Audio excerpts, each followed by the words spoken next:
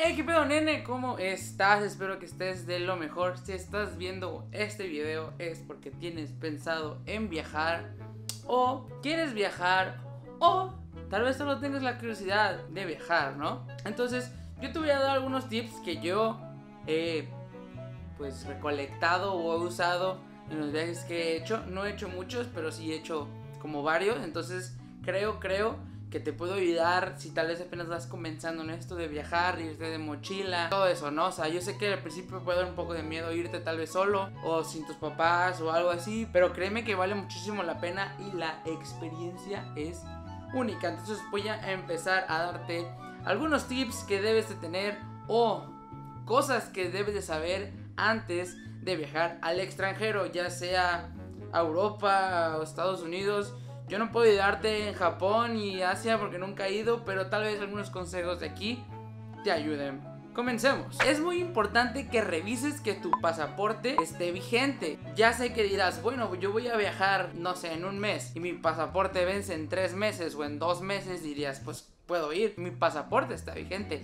Pero no, chavos, si ustedes van a viajar y su pasaporte vence en menos de tres o seis meses, es mejor que de una vez saquen uno nuevo. Yo tengo entendido que para ir a Estados Unidos necesita tu pasaporte mínimo tener tres meses como de todavía de no caducidad para poder ir y para Europa debes tener mínimo seis meses. Eso no significa que tu pasaporte ya no sirva, o tu pasaporte lo puedes seguir utilizando, pero si vas a empezar a viajar fuera del país, lo mejor que puedes hacer es actualizarlo, ir a sacar uno nuevo para que no te la hagan de todos en ningún aeropuerto, porque créanme, no te dejan subirte. Ahí mismo te dicen, ¿sabes qué? Tu pasaporte no, no aplica, no te puedes subir. Vámonos para afuera y no hay reembolso. Tal vez sí en algunas aerolíneas, pero terminas pagando un montón porque lo más caro del, del vuelo son los impuestos y los impuestos no son reembolsables. Así que lo más importante es revisar si su pasaporte va a estar vigente para las fechas que quieren ir y tienen esos meses de vigencia además para si vas a ir a Estados Unidos o vas a ir a Europa. Si tienes escalas, hay que revisar qué permiso necesitas para las escalas. Un ejemplo es que si vas a Europa y tu escala es en Estados Unidos o tienes alguna escala en Estados Unidos, es puedes revisar que tengas visa. No porque significa que vayas a ir a Japón o a China o a España, pero vayas a pasar por Estados Unidos no significa que no necesitas visa si la necesitas la visa para hacer la escala o no te van a dejar pues bajarte del avión. Creo que no te dejan ni subirte a tomar tu primera escala a Estados Unidos. También en Canadá suelen haber muchas escalas. Como yo tengo una escala de Vancouver a Londres. Y entonces yo como mexicano necesito una ETA. Que es una ETA? Es la Electronic Travel Authorization para poder entrar a Canadá y quedarte en Canadá, pero en mi caso es solo transbordar. La ETA se saca por internet. La visa, pues ya saben, hay que ir a sacar su cita, es un poquito más complicada.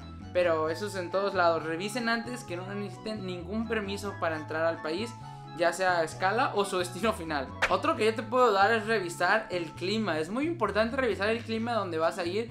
Si va a ser mucho frío, o va a ser mucho calor, o va a ser medio medio, o va a ser normal, o igual que en tu casa tal vez, porque es muy importante la ropa que te vas a llevar y más cuando no tienes tanto espacio en la maleta para llevártela si es de los chicos que les gusta tener muchos recuerdos o vas de mochilazo o solo llevas una maleta o no quieres documentar. Entonces es muy importante saber el clima donde vas a ir. Yo les recomiendo checar en el iPhone el weather o en Google el weather de donde vayan a ir, el clima, para que sepan si llevan ropa delgada, alguna chamarra, si va a llover, si lleven algún pues como, ¿cómo se llama esto? Irse preparados, porque créanme, es horrible estar al otro lado del mundo, no saber que va a llover y acabas empapado, se te mojan los tenis, las calcetas, todo, todo mojado y entonces ya no tienes tenis para el siguiente día, tu ropa va a valer feo, así que es mejor irse preparados y también si va a ser mucho frío, no quieres llegar allá a comprar chamarras que solo vas a utilizar las semanas que vayas a estar ahí, entonces no lo hagas, llévatelas desde casa, asegúrate de lo que vas a necesitar allá. No andes cargando ropa de más si no la vas a necesitar. Y pues no lleves ropa de menos si la vas a necesitar. Aquí voy a hacer un pequeño hincapié de un tip extraño que me pasaron. Que lo veo factible tal vez. Es llevarte ropa que ya no uses, ropa que ya tienes pensada en regalar, en tirar, en todo eso. Y lo que puedes ir haciendo es que mientras vayas avanzando de ciudad en ciudad, si es que vas a ir de mochilazo o vas a ir a Estados Unidos a comprar ropa, es que te lleves la ropa que no usas de verdad y la dejes en los hoteles en los Airbnb eh, o en los taxis que vas a mochilear. Déjala ahí, alguien la va a necesitar. Entonces tu maleta cada vez va a pesar menos y puedes comprar cosas y traértelas. O simplemente cada tramo o nuevo viaje que vayas a hacer, si es que vas a ir a varios lados en el mismo vuelo, que llegas a Europa y que quieres recorrer, o Estados Unidos y quieres recorrer México y quieres recorrer, pues tu maleta cada vez va a pesar menos. Créanme, es muy, muy bonito sentir la mochila que no te pesa nada y estar caminando todo el día.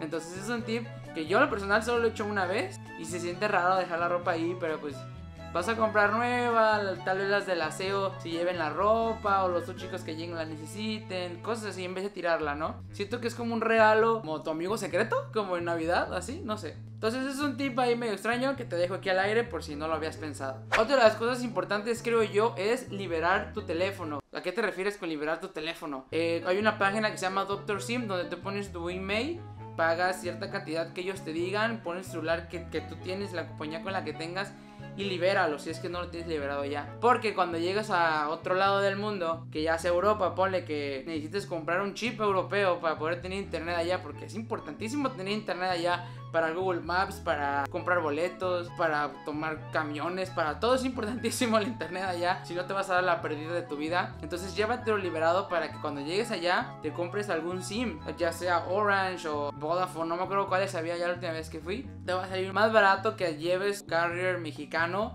y pagues un plan para que te dé internet allá que te va a durar un pedo. Entonces mejor libera tu teléfono, te lo llevas allá, compras una SIM que te va a costar unos 15 euros y te va a dar internet pues ya en toda Europa y ya estás listo para irte. La otra que también se lo recomiendo, que ya es la segunda vez que lo hago, es comprar un chip con internet solo para Europa. Yo lo compré en el plan que se llama SIM Card o ¿cómo se llama? My SIM Card. Así se llama. Es que ya cambié el número dos veces esta página. Aquí dentro viene mi chip y este chip viene precargado con 15 gigas de internet y las puedo utilizar en toda Europa. Lo único que no puedo hacer con este chip es marcar pero, ¿qué le dices marcar? O sea, mi papá no puede marcar a este número, claro que no, porque es un número extranjero, ¿no? Aquí viene el chipcito para todas las medidas, enfócate, y ya depende del teléfono que tú tengas, es el que vas a utilizar. Este me va a dar 15 GB de internet mientras yo esté en Europa. Y pues con, 15 GB de internet ya puedes pues marcar por WhatsApp, ver Instagram, subir historias, avisar que estás allá. Creo, creo que puedes hasta ver videos en YouTube. Pero lo que no puedes hacer es compartir internet. No puedo llegar y poner mi teléfono de modem para alguien más, no. Ahí sí ya te la pellizcas. El internet es para ti y solo para ti. Y me costó alrededor de 60 dólares. Tengo entendido como 60, 50 dólares, mil y tantos pesos. Pero por mil y tantos pesos por 15 gigas de internet no se me hace mal. Creo que ni los carriers normales mexicanos te dan tanto internet por ese dinero. Yo se los digo que estar allá y se te apague el celular o no tener internet es horrible, no conoces nada, tal vez no hablan ni tu idioma, tal vez tú no hablas inglés, no hablas francés, no hablas italiano. Y perga todo. Otro importante son estos dos muñequitos de aquí, que es el convertidor para la luz. Ese es muy importante que te lo lleves mejor de aquí para allá, porque allá se lo suelen vender caros a los extranjeros. Yo una vez pregunté, y me lo vendían bien caro. Y este solo tiene entrada para uno. Sale a europeo. También sale para Inglaterra, Estados Unidos y Japón. O sea, tiene para eso es para todo el mundo ya. Pero este solo te deja meter un enchufe. O sea que este no te lo recomiendo muchísimo. Pero pues si no tienes de otra y no hay tanto dinero, este es el bueno. Si no, pam pam pam, tenemos este. Que este sí es mi favorito. Porque viene un estuche muy bonito. Y viene muy bonito envuelto. Y vean esta belleza, o sea, o sea, tú dirás, güey, pues es igual. el cabrón. Este tiene entradas USB. Y ya todo se carga con fucking USB. Entonces tiene tres entradas USB y una USB tipo C. Ya llegas nomás y aquí tienen los tipos de conexión que quieras hacer. O sea, llegas y ¡pum! Europa. ¡Pum! Estados Unidos o México. O sea, esto no sirve aquí, ¿no? ¡Pum! Australia que no he ido. Y pum, a Inglaterra. Este es todo Europa.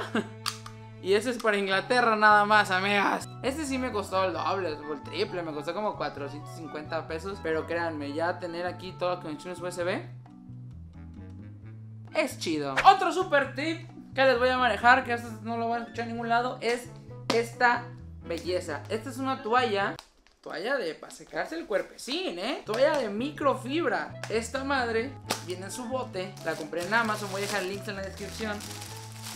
Y aquí está la toalla, ¿eh? No la he abierto. La voy a abrir con ustedes, miren. Esta toalla microfibra, así que chiquita como la ven, te puede secar el cuerpo entero. Creo que hasta dos, tres personas. A esta toalla tú lo que vas a hacer, veanla, no es muy grande, es chiquita, pero es para secarte el cuerpo.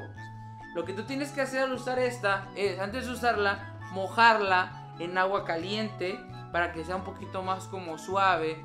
Y ya que hayas hecho eso, la vas a exprimir, pero la vas a exprimir machinas. Y neta, esta se le sale todo el agua, no absorbe nada. Bueno, sí te absorben, pero digo, cuando lo exprimes se va. Entonces vas a hacer eso. Y ya que hayas hecho eso, te vas a comenzar a secar, a secar, a secar. Y cuando sientes que ya está muy mojada, exprimes otra vez, se sigue secando. Y ya terminas de, pues, de, secarte ahora sí. Y pues la vuelves a guardar en el tubito que te vino. Y entonces, pues ya imagínense el espacio que te abarca ese tubito la exprimes muy bien y la metes en tu frasquito para que por si queda mojada no te mojes tu demás ropa. Y listo. Ya estás bien seco y no te abarca nada en la mochila. ¡Vámonos! Si vas en plan, en plan de grabar acá, como yo suelo hacerlo cuando viajo, lo mejor que te puedo recomendar es que te compres una GoPro. Uh, una GoPro. ¿Por qué? Pues porque estas casi no te abarcan espacio, toman bonitas fotos, toman bonito video toman bonito audio y vean el espacito que te va a tomar en tu mochila es chiquitito. No te va a abarcar, pero sin nada. Entonces, si empiezas a llevarte alguna cámara, yo no me llevaría la cámara con la que estoy grabando. Se me iría muy estorbosa estarla cargando. Así que yo optaría por la GoPro. Si solo vas a viajar con maletas de mano, como yo siempre suelo hacerlo, que solo la maleta y la mochila, si vas a llevar maleta de mano, te recomiendo que lleves maletas así, que sean de como de bolsa, como de tubo. Estas maletas son las que debes de llevarte a viajar cuando solo vas a ir con maleta de mano. Te cuento por qué. A mí me ha pasado en varios aeropuertos del mundo que he ido, no he ido muchos, pero sí he estado en varios, que a las personas que llegan con la maleta de mano, pero llegan con la típica maleta de mano de rueditas, les dicen, ¿sabes qué? El avión ya viene bien cargado de gente, tu maleta de mano ya no cabe, se va a ir abajo y tienes que pagar la documentación. Y pelas. Así nomás, porque pues a veces se llenan y te la pelas. Entonces yo iba formado en la fila y había mucha gente que le estaban regresando su maleta de mano. Dije, no, mí no me la pueden regresar. Yo aquí traigo mis cosas, cargadores, ropa. Me la pierden, me voy a quedar encuerado aquí. No, no, por favor, la mía no. Y entonces seguí avanzando y me vieron la mía que era así como esta. Y me dijeron, ah, la tuya sí, pásale. Y yo, entonces, descubrí que estas les gustan porque caben así hacia el fondo de donde está arriba, donde ponen las maletas del avión y casi no te abarca espacio. Entonces, la mayoría las pone así las dos maletas o las ponen así y quedan como bien chonchas y de esta manera la metes así y casi no quita espacio en el avión. Entonces, pues por eso te las recomiendo que mejor si van a viajar con maleta de mano que sean así. Porque no fue una vez, me pasó varias veces que veía que los regresaban por tres maletas de rueditas esas de que vas jalando y los echaban para atrás. Y yo con la mía y con mi morraleta, nadie me detuvo, nunca. Nadie me detuvo, nadie, nadie. Si tienes conexiones muy largas, porque la mayoría de los vuelos baratos a otros lados del mundo lejos, ya fuera de Estados Unidos o Europa, eh, la mayoría que he comprobado a veces tiene conexiones muy largas, de 4, 8, tengo hasta de 12 horas este viaje que voy a hacer. Yo te recomiendo que te lleves algún videojuego, ya sea pues el Switch, que es como muy portable, o te lleves un iPad. Pues para ver el Netflix, Game of Thrones, you know, Starks Forever. Mínimo tenga, yo tengo aquí muchos libros. Pues ya mínimo no te aburres de estar esperando tantas pinches horas, porque a veces sí se, se maman con los horarios, pero pues están baratos los vuelos y uno quiere viajar y no quiere gastar, entonces hay que meterle ahí, ja, Ya en el aeropuerto, bueno, no sé si ya tip este ya, es una recomendación, es que si tienen tarjetas de crédito, chequen. Sus tarjetas de crédito tienen Priority Pass, se llama. Yo tengo una tarjeta de crédito que la saqué, o sea, esa tarjeta de crédito yo la quería, nada más porque te daba el Priority Pass. ¿Qué es el Priority Pass? Es esta madre de aquí. Es una tarjetita, a ver si se ve. Búscate, perra. Da por los números, no me vayan a extorsionar. Estas Priority Pass, tú llegas a los aeropuertos y dices, oye, tengo Priority Pass. Y te dicen, oh, sí, señor, pásale por ahí. Ya te vas por ahí y es una sala donde todo, todo, todo es gratis. O sea, puedes llegar y pedir de comer, pedir de beber, hay baños, hay masajes, hay para bañarse, hay salas para dormir, todo, todo totalmente gratis mientras tengas esta madre de la Priority Pass. Tengo entendido también que la, puedes comprar el Priority Pass por un día, pero te cuesta alrededor de 25 a 35 dólares. Y pues la neta, para estar ahí pinches 4 horas, eh, pues no lo hagas. Pero en cambio, si tienes una tarjeta de crédito como yo, que ya te incluye el Priority Pass cuando tú la tramitas, pues úsala. O si tienes pensado en transmitir, tramitar una tarjeta de crédito, revisa que el tarjeta de crédito te ofrezca Priority Pass. Porque de todas maneras, el Priority Pass lo estás pagando con la anualidad de la tarjeta. Y digo, si ya te van a cobrar la anualidad de la tarjeta, pues saca una que te convenga. La mía Santander. Pues yo creo que algo que es muy obvio, audífonos, ¿no? Pues para ahí mínimo hacer como que no escuches a la gente que te cae bien gorda que no conoces, ¿no? Y muy importante, chavos. Almohadas de viaje. Estas, estas son las importantísimas porque yo estoy bien pendejo para estas y siempre que viajo las olvido. Me compro una, me voy de viaje, la dejo allá. Me compro una de regreso, o sea, como esta, la compré en Ámsterdam porque iba de regreso de Madrid y había dejado la mía. Entonces, ok, chido. Llego a México, voy a otro viaje, se me olvida llevármela al viaje. Me tengo que comprar otra en el destino donde llegué. Me la traigo, me vuelvo a ir de viaje, se me olvida y tengo que comprar otra en el destino donde llegué. Entonces por eso tengo tantas pinches almohadas de viaje porque siempre se me pinches olvida. Pero ustedes no se les va a olvidar porque ya vieron este video. Son lifesavers esas madres porque terminan así con el cuello todo hecho cagadas, tantas horas de vuelo. Y mismo con eso ahí para salvar la quijada, no sé. Neta, nunca las olviden, no sean como yo. Ahora, tips, pero de cuando ya sabes a dónde vas a ir. Imagínate que vas a ir a París, que vas a ir a Los Ángeles, que vas a ir a, a Madrid, no sé a dónde vayas a ir. Intenta Ah, mis ojitos. Hacer como que si fueras a exponer de la ciudad, así neta, haz una presentación en PowerPoint de los lugares a donde quieras ir, cómo puedes llegar ahí y cuánto cuesta estar ahí. Para que tú tengas una pues tipo presentación así, háganla en PowerPoint. Yo hice la mía en PowerPoint y puedes poner así como Roma, no, pues Foro Romano, el Vaticano, el Castillo de San Ángel, o sea, todo eso es una presentación para cuando te vayas a ir ya tengas mínimo una idea de a dónde tienes que ir, cómo puedes llegar ahí, qué transportes hay que tomar, cuánto cuesta entrar y no llegas y dices, a ver, pues cuánto cuesta tanto, no, chinga tu madre, está bien. O sea, ya sabes a lo que vas, o sea, ya sabes lo que necesitas, así no tienes como sorpresas de que vaya a salir algo mal o que no te alcanzó el dinero, entonces lo mejor es hacer una madre de lo que quieras hacer. O más bien lo importante, si vas por 10 días y solo hay 3 cosas que quieres hacer, pues mínimo ya sabes esas 3 cosas las vas a hacer y ya, ya ves que vayas a hacer y todo eso. Sí, está bien, pero digo, si llegas ya sabiendo qué es lo que quieres y cómo llegar, las demás cosas se te van a hacer fáciles porque ya sabes por dónde comenzar. Otra cosa también muy buena que puedo hacer que yo hago mucho cuando voy es cuando voy de viaje, hasta donde sea donde vaya, en Google Maps hay una opción de descargar los mapas, o sea, para tenerlos sin conexión a internet. Entonces, si vas a ir a, a, Italia, Roma, Francia, México, donde sea, al lugar o el pueblo la ciudad donde vayas a ir, vete a Google Maps y dale ahí en mapa sin conexión y te dice descargar. Y de hecho te sale un cuadro y como de qué fragmento del Google Map quieres descargar y le picas descargar y siempre lo vas a tener el, mapa. Aunque no tengas internet, aunque no tengas wifi, aunque no tengas nada, te va, a, te va a dar hasta las rutas de transporte público. Entonces, eso es súper bien. Imagínate que te sales de tu casa y no sabes ni cómo llegar. Ah, oye, güey, pues yo tengo aquí mis mapas, chingue Yo te cuento esto porque yo cuando fui la primera vez que fui a Colombia, yo contaba con que ATT funcionaba en Colombia. No sé por qué no pregunté, no me interesó. En mi trip funcionaba, yo fui. Ah, chingue los con los que yo venía, que sí tenían internet, no quisieron salir porque estaban cansados y dije, ¿sabes qué? Yo no vengo a estar encerrado en, la casa que rentamos, me voy a salir a conocer. Entonces agarré y descargué los mapas y me salí a conocer.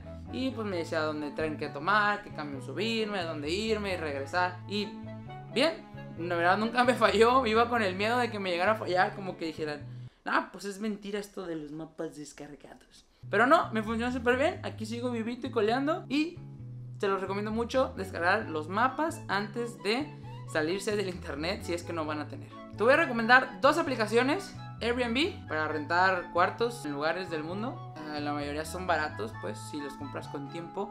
Y la segunda aplicación es Omio.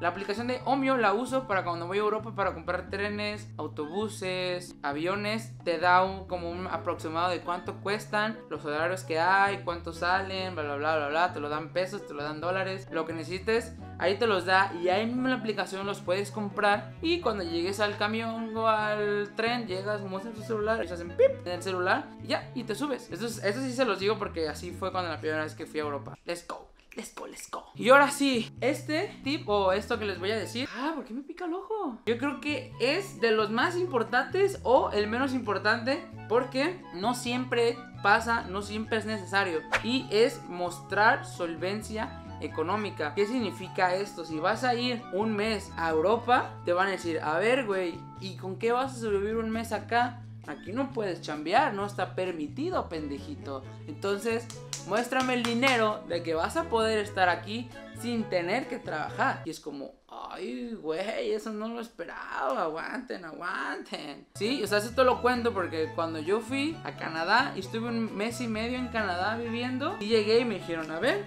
¿vas a estar un mes y medio acá? ¿Y la lana, perro? Y yo quedé, no mames pues yo traigo, pues traigo 20 pesitos, si la armo, si la armo, no, yo como re poquito, le dije. No, no, o sea, fuera de eso, de verdad, sí, me asustaron un poco porque no me querían dejar entrar, que porque no mostraba solvencia económica para el tiempo que yo iba a estar ahí. Yo les expliqué, no, es que yo no voy a pagar renta, voy a casa de un amigo, el dinero lo traigo en las tarjetas, traigo tarjetas de crédito y cualquier cosa mis papás me apoyan y así. Entonces, tuve que aventarles un choro como una hora, estuvieron practicando conmigo, viéndome ahí eh, pues lo que traía, te revisan así como el celular, a ver qué celular trae, a ver si tiene dinero y todo eso. Y ya después de como una hora platicando me dijeron, pues ya, pues pásale, ya estás aquí. Y yo de, wow, güey, me está, te juro, yo me estaba cagando. Dije, no me van a dejar entrar, ya valió madres. Y cuando fui a Colombia, eh, fue menos agresivo, pero sí me preguntaron, a ver, ¿cuánto tiempo vienes? Dije, no, pues yo vengo por una semana. ¿Y cuántos dólares traes? Y yo le inventé, no, pues traigo como dos mil dólares, así, un número azar, al azar. Ah, puto. Me dijeron, ah, pues sí, sí traes feria. No, pues pásale, sin miedo, órale, chingas madre. Compras, compras, compras, compras. Y la última anécdota que creo fue cuando fui a Ámsterdam la primera vez. Bueno, más bien iba para Madrid, pero mi conexión era en Ámsterdam, pero era como mi primera entrada a Europa. El señor que me vio, o sea, que me tocó como la aduana conmigo, eh, muy grosero el güey, así, hablándome en inglés, pero es inglés que no se le entendía ni madres. Y yo decía, güey, relájate un vergo vengo llegando, todavía no me acostumbro al jet lag, güey. Ya no, pues el vato me dice, pues, pero en inglés, ¿no? No, pues, ¿cuánto tiempo vienes? Y yo, pues, mes y medio. Ah, mes y medio. ¿Qué viene tanto tiempo, señor? Yo, no, pues es que vengo acá a visitar y la chingada, voy a ir a tales lados, voy a ir a recorrer el mundo y que no sé qué, esto y el otro. Y dice, ah, qué bonito, qué bonito, pero a ver, ¿cómo le vas a hacer? ¿Dónde los billetes? Yo, para eso, como ya me lo habían aplicado varias veces, lo que hice fue imprimir un estado de cuenta de mi tarjeta de débito, de la tarjeta de crédito ahí. Y como los pinches pesos somos muy exagerados, o sea, 100 mil pesos, para ellos son pinches 10 mil euros, 10 mil dólares, ¿no? Entonces yo traía ahí mi tarjeta de débito empresa y se las enseñé. Tome perro, y ya la vio el vato, sí. Ah, no mames, un chingo de ceros y números. Güey, tenía como 30 mil pesos yo para todo el viaje. Ah, sí, pásale, ya se le cambió la voz. Yo me acuerdo el vato, me estaba hablando bien culera y de repente ya. No, señor, Duque, el rey de México, pase usted. ¿Quiere? ¿Lo cargo? ¿Lo llevo? Sí, súbase, sube. Y yo de vato, güey. Pinche vato mamón. Pero sí, mostrar solvencia económica es importante. Y más cuando vas solo, porque esos todos esos viajes te los digo que yo iba solo. O sea, no iba con mis papás. Entonces ellos creen que vas a ir a trabajar. Pero pues yo vengo a disfrutar de la vida, amigo. Para eso trabajo, para salir. No voy para trabajar, no mames. Y ya, no tengo más tips que dar. Si tú que estás viendo este video sabes algún tip chingón y has viajado mucho que nos quieras platicar que yo no di, tal vez se me olvidó tal vez me acuerdo después, coméntalo, coméntalo para ayudarnos a todos. Nenes, nenes, nenes. Pues ya, me les voy, me les voy veintitantos días a Europa. Este video lo voy a subir un día antes de irme. Los voy a extrañar mucho, espero que puedan apoyar a Víctor en los directos, ¿va? Entonces nos estamos viendo en otro video. Yo creo que voy a subir otro video mientras esté allá, pero lo voy a dejar grabado, claro, nada más ahí para que se publique. Yo les voy contando, recuerden seguirme en Instagram, a mí y a la cuenta de Dúo para que vean lo que estoy haciendo. Voy a grabar también allá cositas para cuando regrese editarlas y subirlas al canal. Entonces, nos estamos viendo, los quiero mucho. Bye, bye, bye.